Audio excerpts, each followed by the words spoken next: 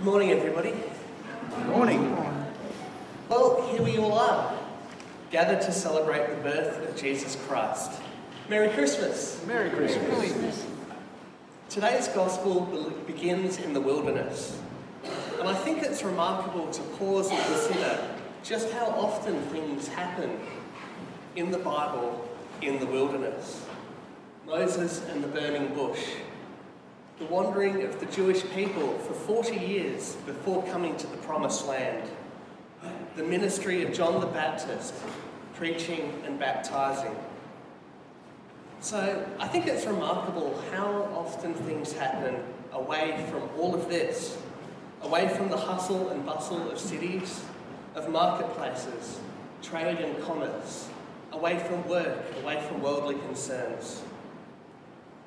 And today's gospel tells us how, in the wilderness, in a farming region, shepherds were the first to be told of the birth of our Lord.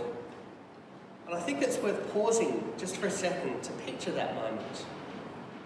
Shepherds were itinerant. They walked from uh, place to place with the flock.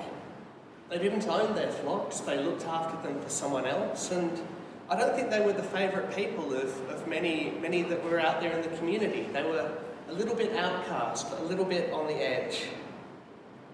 And yet there they were. And to them, to them of all people, an angel appeared. The good news came to those who needed it most. And the shepherds, they react with fear. And I think all of us can understand that. I, I think if I was in my backyard minding my own business and suddenly someone appeared glowing with a bright light, I might be a little bit worried. And yet they're reassured and they're given this astonishing message. I am bringing you good news of great joy for all the people. To you is born this day in the city of David a Saviour, who is the Messiah, the Lord. This will be a sign to you. You will find a child wrapped in bands of cloth and lying in a manger. So the angel is bringing them good news, gospel. A king has been born, a king in the line of David, their saviour. And yet, their Lord hasn't been born to a rich and powerful family. He has been born to the family of Mary and Joseph, and he rests his head in a manger, in a feeding trough for animals. It's really not what you'd expect. It might be difficult to believe. And then suddenly, there in the wilderness, there appears a heavenly host, angels arrayed in great number, singing, Glory to God in the highest heaven, on an earth, peace among those whom he favours. I think it's just amazing to picture that. It's an event that must have moved those shepherds to tears. It's an event which must have lit up the sky. And today's gospel tells us that those shepherds believe, they act, they bear witness. Indeed, they tell the Blessed Mary what has been declared to them. And I think we find great wisdom in her response. Mary treasured all of these words and pondered them in her heart. As Christians, we've, we've got a lot of words to treasure. We have the rich and, uh, and deep tradition we find in the Hebrew Scriptures. We have the words of the New Testament. We have the words of people of our faith over 2,000 years, generation after generation after generation. Generations of Christians who have prayed and struggled and sought the guidance of God so as to follow in the way of our Lord. Over Advent, over the last few Sundays, Chris has talked to us a lot about incarnational theology. The birth of Jesus, his entry into the world, fully human and fully divine. A birth which we celebrate today gathered together. A birth which represents a dramatic change in the world, an intervention in the world. God reaching out to us. God reaching out to us in love. Reaching out to us by sending his only begotten Son.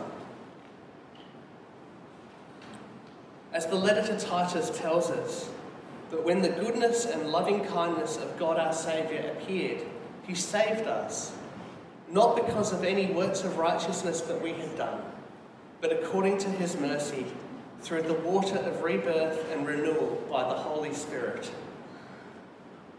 rebirth and renewal.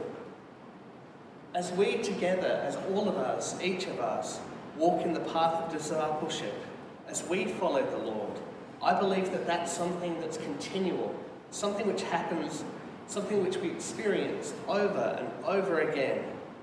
Rebirth and renewal, death and resurrection. Rowan Williams, um, who is a great, who is a great former Archbishop of Canterbury, has said that the time of Christmas we are called to see ourselves honestly and to see the world differently.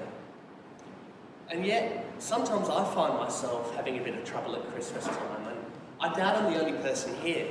There's just so much to do. There's so many things to worry about, so many things going on. It's hard to find peace, it's hard to find a time of quiet. There's so many distractions. It can be hard to treasure the words of God. It can be hard to ponder those words in our hearts. I remember being a small child in England, snow falling, mesmerising baubles on the Christmas tree. For some of the kids here, maybe this will ring true. Those shiny and quite hot little lights on the tree that you're not supposed to touch, yet I definitely did when my parents weren't watching. Don't do that. And yet that faint childhood memory set up unreasonable expectations for the Christmases of my future life. And I think it's only in the last few years that I've come to realise that it's not about the presents, it's not about the turkey, it's not about the tofurkey, or the prawns, or the cauliflower with cheese, as wonderful as all of those things are.